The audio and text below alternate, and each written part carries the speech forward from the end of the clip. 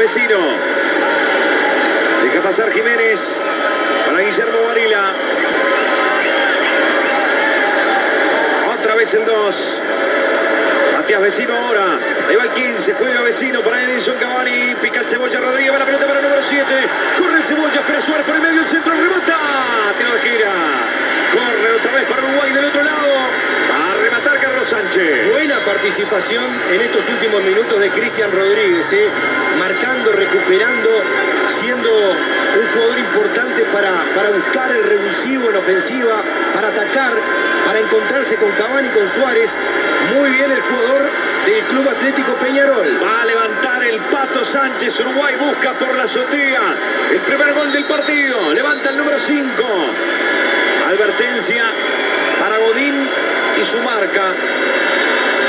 Ahí va a estar Pen a hablar con el capitán uruguayo y con Albulayí.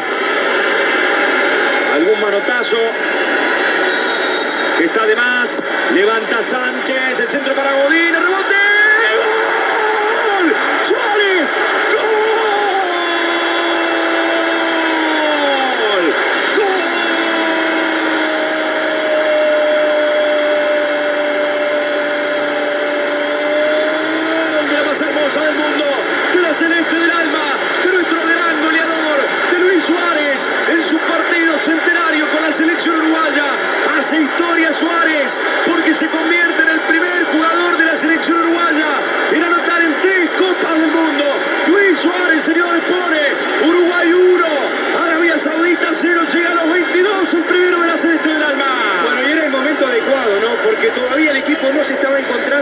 En una jugada muy bien elaborada por Uruguay con la participación de varios jugadores, Cristian Rodríguez, Cavani, Sánchez, Suárez.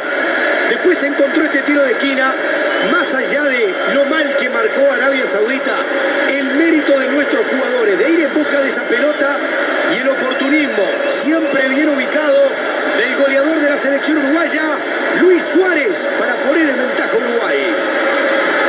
Al Shahrani. Y le dio salida a Saudita. De abajo de arriba. Bueno, el árabe saca donde quiere. Tarpén lo manda a sacar atrás. Se van los últimos 40 segundos. No toque la pelota, Luis. Déjalo que lo haga el árbitro. va. Déjalo que lo haga el árbitro. Se termina, señores, el partido. Le pega Otaif jugando para Alburayi. 48 con 40. Va a terminar el partido en Rostov. Alburay, último ataque del encuentro. Centro de Alburay, Torreira. Va para Cavani. Pierde con Otaif. Alburayi. Osama Gausawi. Va a pitar el francés. Uruguay se mete, señores, en los octavos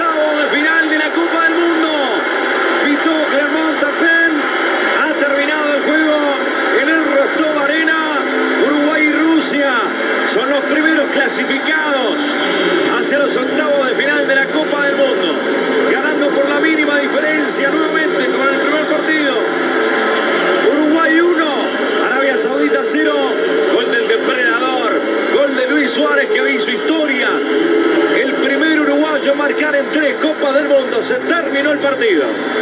Lo más importante, el triunfo, los tres puntos, la clasificación a los octavos de final a falta de un partido para culminar el grupo, que será el próximo lunes en Samara frente a Rusia.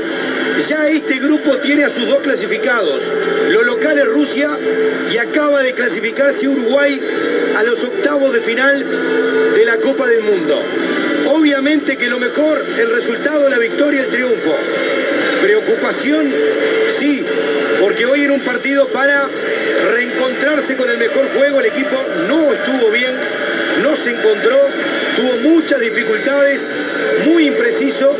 Y bueno, hay mucho por mejorar, pensando en el partido con Rusia y sobre todo pensando en los octavos de final.